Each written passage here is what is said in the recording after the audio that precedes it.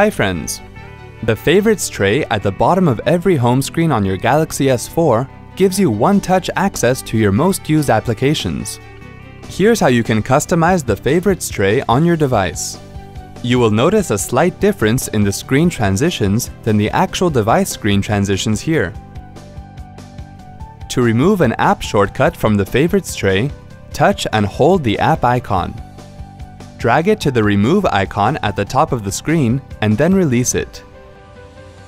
To add a new app shortcut or a folder to the Favorites tray, it must first be added to the home screen. Touch and hold an empty area of the home screen, and then tap on Apps and Widgets. Locate the desired app, and then touch and hold the app icon.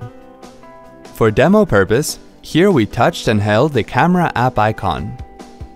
While still holding the app icon, position it on the home screen and then release it to place it.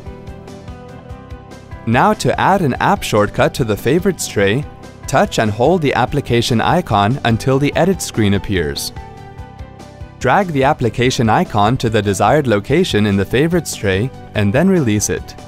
Hope this was easy to follow. Thanks for watching.